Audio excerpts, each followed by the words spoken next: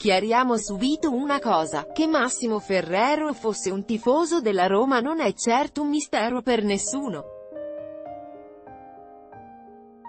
Il presidente della Sampdoria non ha mai nascosto la sua fede giallorossa, certo è che la sua dichiarazione d'amore per i colori della Roma, in diretta tv a Domenica in, non è stata molto gradita da buona parte dei tifosi della Samp.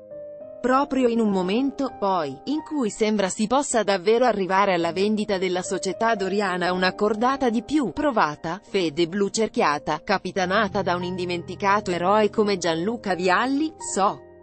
Romano, so, romanista, so, nato a Testaccio, più de così non se può ha detto ieri Ferrero quando il signor Pallotta deciderà di andare in pensione, io so, pronto.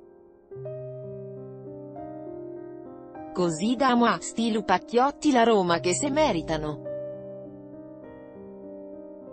Troppo amore giallo-rosso e troppe poche le parole spese per la causa blu cerchiata, secondo molti tifosi genovesi che, specialmente sui social, non hanno tardato a farsi sentire.